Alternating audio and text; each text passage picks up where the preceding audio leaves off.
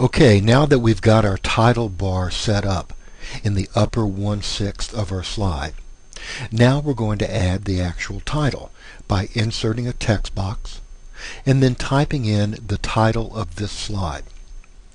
Then we will format the title in the same way that we're going to format the titles of every content slide in the presentation. And that is with 20th century monotype font at 32 points. Now we're going to input the two photographs that go with the two things that we're talking about here. Since I've already shown you how to get photographs from the web, we won't go through that again. But I do want to show you this different way of formatting pictures. Whenever you insert a picture on a PowerPoint slide, the Format Picture toolbar becomes visible up at top. So let's click on Format. Now the last time we formatted a picture, we use all those picture shapes here. But there's also a set of eight different picture styles that will also show up with the format toolbar and you can simply click one of those if they are appropriate.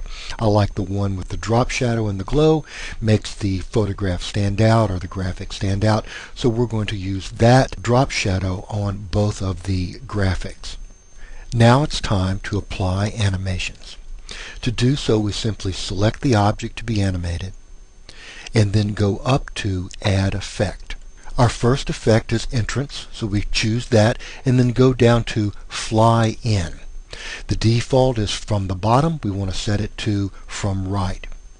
Then let's choose our next picture and we're also going to animate its entrance, choose entrance, go down to fly in again. Again, the default is from the bottom. This time we want to go from left. Okay, both of our pictures are now animated. If you're wondering why the pictures move as soon as I choose the animation, it's because I have on Auto Preview, which you see down here at the bottom. Auto Preview gives me an immediate look at the animation as soon as I apply it in order to make sure it is the correct one. And now let's put in the text box that is the main focus of this slide. After putting this in, increasing the point size and aligning it, then we're going to animate it too. So right now it doesn't matter if the text box is on top of the graphics or behind them because it will appear on the slide by itself. Now to animate this text box we're going to go to Add Effect, pull down to Entrance, and it's going to do a faded zoom which means it's going to go from nothing to something as you see in the preview right there. Next, we want the two images to fade out at the same time that the text box zooms in. So we go to Add Effect, pull down to Exit, and this time when we choose Faded Zoom, the zoom will not be coming in, the zoom will be going out because we have chosen Exit. Now once we've applied an exit faded zoom to both images, we have to do something very important, and that is change the timing from on click, the animation will happen on a click, to the animation will happen at the same time as the previous thing. In other words, it will happen simultaneously with that text box. And we do that by choosing the timing called with previous or start with previous and you'll see that that now changes in both places up at the top and then down in the timeline at the bottom. Now we apply the same settings to our other graphic we fade it out and then we go and change the timing to with previous which you see me doing right here. And now let's check this thing out and see if it's doing what we want it to do. One click should bring a graphic in from the right. The next click should bring the graphic in from the left.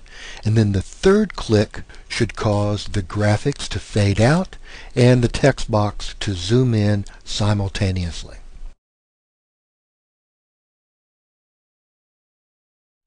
Okay, that looked good. Now all we have to do is duplicate the image on the right and position it below the text box and it will act as the source for that quotation. We have to keep in mind that the timing for this bottom source image must also be with previous. Except in this case, it's going to zoom in. It's going to be an entrance because it's going to accompany that text box. So with our image selected, we go up to Add Effect, Entrance, Faded Zoom In, and then we go down and change the timing to Start with Previous. Okay, let's run this slide one more time, and we should see all the effects that we want. Excellent. Now that we have two slides, let's apply our transition from one slide to the next.